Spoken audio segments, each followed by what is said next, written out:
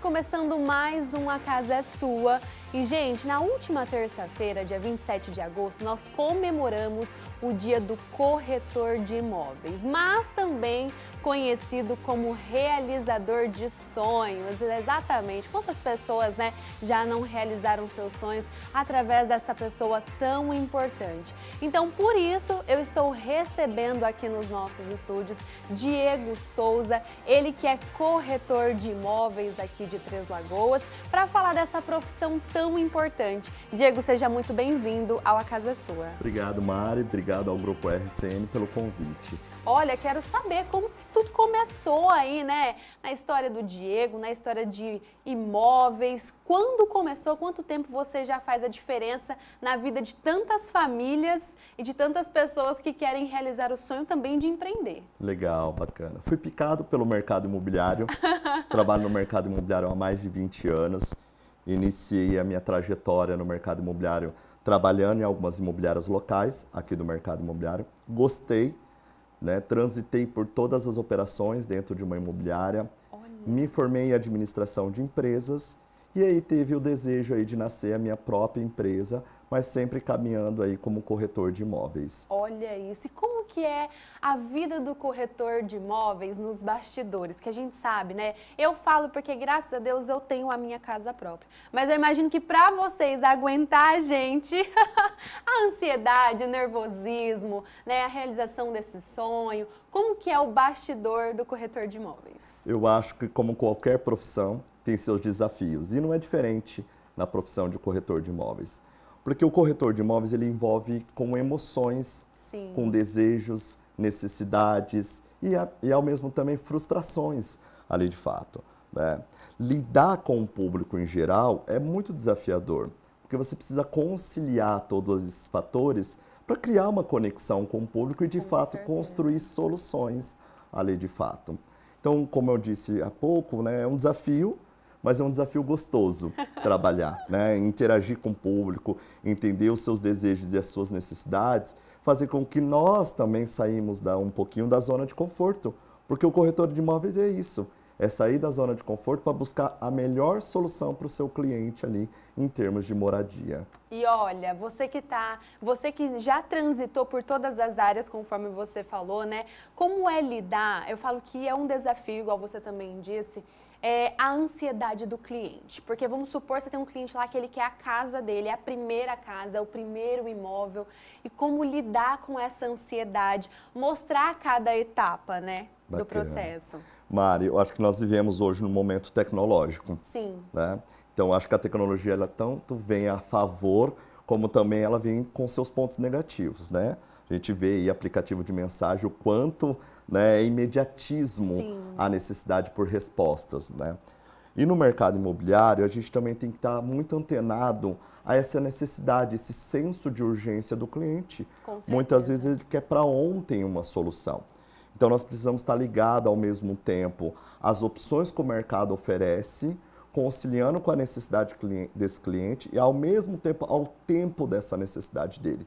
Mas eu acho que a regra principal disso tudo é deixar muito claro para ele como que funciona em termos de prazo, Sim. em termos de necessidade, porque envolve operações que dependem também de terceiros. Com certeza. Cartório, envolve banco, envolve transações. Então, tudo isso tem o seu tempo habitual. Que algumas vezes nós, como corretor de imóveis, temos a, nosso favor algum controle, Sim. mas nem sempre temos controle. E fora ainda o contexto público também, entidades públicas que necessitam de prazos para que concretize qualquer operação. Mas é um desafio, confesso a você que é um desafio, porque deixar isso muito claro e compreensível por parte do cliente, isso vai dar dinâmica das tratativas com cada pessoa realmente. De todas, bom, muitos clientes já passaram por você, né, pela sua imobiliária também. Mas olha, de todos os casos, famílias, empresários que você já é, atendeu, né, já realizou, conta pra gente um que marcou a sua história, assim, que você fala, Mari, eu nunca vou esquecer desse daqui. Mari, eu acho que é bem importante isso, porque nessa trajetória, nessa caminhada, fazemos amigos ao longo Com dessa certeza. jornada. Né? Eu acho que mais um, um ponto crucial dentro dessa minha missão que eu escolhi de profissão, eu falo que é missão, é poder auxiliar as pessoas a terem o, o, a tua moradia, né? porque é um item de primeira necessidade. E eu me lembro de um caso de uma mãe solteira que necessitava sair do aluguel. Ela já tinha anos de desejo de ter um imóvel próprio. E coincidiu de nós, na imobiliária, estarmos vendendo um empreendimento e ter um apartamento ali à disposição que encaixava no perfil da necessidade daquela, daquela mãe. E, mas, assim como todo brasileiro, é necessário no processo de compra de imóvel ter uma educação financeira. Com certeza. Porque é prioridade, né, num item de primeira necessidade. E eu me recordo que ela tinha algumas dificuldades em termos de é, condição de pagamento, em termos de, de, de, de aprovação bancária. E a gente foi construindo isso com ela. Foi uma jornada de oito meses Olha. que levou da tomada de decisão dela até o processo da assinatura do contrato no banco e a efetiva entrega de chaves. E eu me lembro que eu me desdobrei ali no atendimento a essa mãe, construindo com ela essa possibilidade junto ao vendedor, facilitando ali a entrada dessa mãe, é, facilitando o processo de aquisição, regularização do nome dela, para que ela pudesse alcançar o, o, o, financiamento bancário. Então, me marcou bastante. Eu, isso, isso eu uso como exemplo com os meus corretores lá na imobiliária, né? é ter essa possibilidade de auxiliar o cliente Sim. no processo de compra. Isso pode ser de um mês até oito meses, como foi o caso. Né? Exatamente. Né? E o que eu tiro de, de, de, conclusão nisso, que o dinheiro não está em, em primeiro lugar, ele nunca está à frente.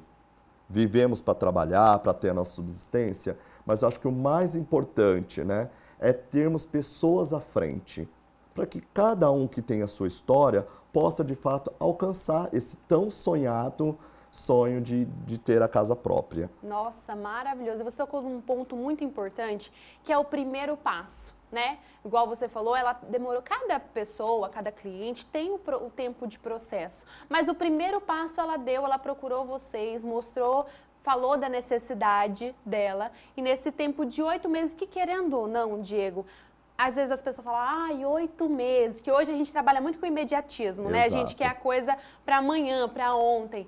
Mas oito meses, pelo menos, ela começou. E se ela não tivesse começado, não tivesse dado o primeiro passo? Exato, Mário, eu acho que é, isso é muito importante.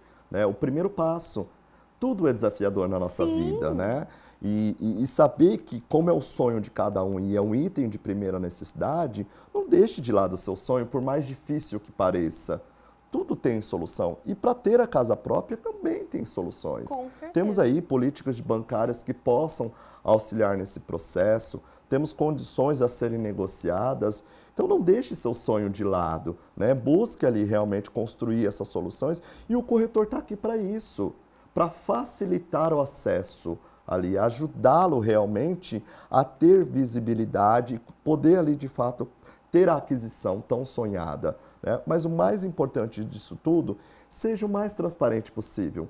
Não Com tenha certeza. receio de contar a sua vida para o corretor, colocar ele a par das suas é, situações atuais. Então, se você está com o nome negativado, se você está passando por algum problema, mas você tem o desejo de comprar um imóvel, não deixe de colocar para ele. Porque eu falo brincando que o corretor também ele é um, o multiprofissional. Ele acaba sendo um pouquinho psicólogo, ele Sim. acaba sendo um pouquinho agente financeiro e também advogado nessa história, né? Então não deixe, abra para o corretor qual que é a sua necessidade, qual que é a sua dor para que ele possa construir a sua solução. E eu acredito, contigo. Diego, que para você é muito assim gratificante conhecer a história é, de um cliente, de uma pessoa que buscam vocês né, para a realização desse sonho. Conhecer essa história, igual mesmo você está falando, a gente é psicólogo, a gente é advogado, por quê? Tudo nessa vida a gente tem uma lição, né? E eu acho que até mesmo para você passar para os próximos clientes, esses mesmos que, por exemplo, pensam, ah, eu não vou dar conta, não vou conseguir, não vai dar certo. Então, cada história ali tem um ensinamento. E aí, por exemplo, chega, vamos supor, eu não tenho nenhum imóvel, quero minha primeira casa. Olha, Diego, eu tenho isso, eu ganho isso, meu nome está assim. Como que a gente pode começar? Aí você vem, olha, Mari, chegou aqui pra gente, a gente conseguiu atender um cliente Então, então, assim, essa história eu acho que é muito gratificante para vocês também. Muito, Mari. Eu, eu falo que, por mais que pareça clichê realizar sonhos, né? Mas poder se conectar com a necessidade do outro, com o desejo do outro, eu acho que só aí é, determina com muita clareza a minha missão aqui de ser corretor de imóveis. Mas é justamente isso, é trazer essa sinceridade, de trazer essa empatia uhum. para o outro dentro daquilo que ele busca. Porque realmente todos nós temos nossas dificuldades. Então não tenha receio, abra para o corretor, coloque para ele, que eu tenho certeza que o corretor de imóveis vai trazer uma solução ou uma luz ali para começar o processo dessa jornada aí, que é de adquirir o seu imóvel próprio. Com certeza. Nós estamos falando de adquirir o imóvel próprio, mas também para locações. Às vezes a pessoa né, quer mudar o seu estabelecimento de lugar, precisa de um lugar bom para abrir o seu primeiro estabelecimento. E aí, né, Diego, toda a sua equipe, 3L Imóveis, que já está aqui em Três Lagoas 10 anos, está pronto para você fazer o quê? Ir lá e resolver tudo que você tem para resolver, não é mesmo, Diego? Exato. Conversem com o nosso time. É, eu acho que isso é muito importante. Assim, não tenha receio de mudar. Né? É, é, mudar faz parte do crescimento, da evolução. E nossa equipe está lá para isso, justamente para escutar você, ouvir você que busca essa evolução própria do seu negócio, da sua, do seu lar aí de fato, né? Então nossa equipe está lá à disposição o tempo todo para poder realmente construir soluções. E aquele momento que é o momento mais perfeito, eu até me emociono de falar porque eu acho que é aquele momento que você fala assim, ó, tá aqui a chave, é seu. É da sua casa. Eu falo que, assim como eu falei agora há pouco, você se conecta com as emoções do outro. Eu acho que não tem é, êxito maior para um corretor de imóveis fazer isso. Né? É, é, é poder entregar para ele, passar o bastão para ele, para esse cliente ali, do, do, tão almejado desejo de ter o seu lar. Porque no final das contas é isso. Todos nós não buscamos ter uma casa, não buscamos ter um terreno, não buscamos ter um estabelecimento comercial, nós buscamos ter um lar. Mais do que paredes, né? Nós iniciamos aí a construção de um lar. E fazer parte dessa história é, é magnífico confesso a ti. Maravilhoso, Diego. Olha, quero agradecer sua presença. Eu ficava aqui conversando com você a tarde inteira para falar, né, das vendas, como tá as vendas em Três Lagoas, qual que é o público, né, que você está é, tá atendendo hoje, mas enfim, tudo isso você que está aí em casa nos assistindo pode tirar suas dúvidas exatamente lá na 3L junto com o Diego e toda a equipe. Inclusive, eu queria que você passasse suas redes sociais para o pessoal né, que acompanha você, tirar as dúvidas. Legal. Tô, estou à disposição do público. É, minha rede social é Diego Souza 3L, 3 algarismo L, e, a, e da 3L Imóveis, 3L Imóveis MS. E se eu pudesse dar um recadinho, Mari, né, você que está aí do outro lado da tela, é, toda vez que você pensar em ter um imóvel, não deixe de pensar na figura do corretor de imóveis. Um corretor de imóveis que esteja credenciado junto ao CRECE, ao Conselho Regional de Imóveis do, do seu estado, para que realmente você tenha êxito e segurança de estar fazendo um bom negócio, Perfeito. uma boa aquisição. Olha aí, dicas também para vocês. Eu quero parabenizar por essa Obrigado, profissão, né, que nós estamos aqui falando. Você, todos os corretores de imóveis aqui de Três Lagoas e região.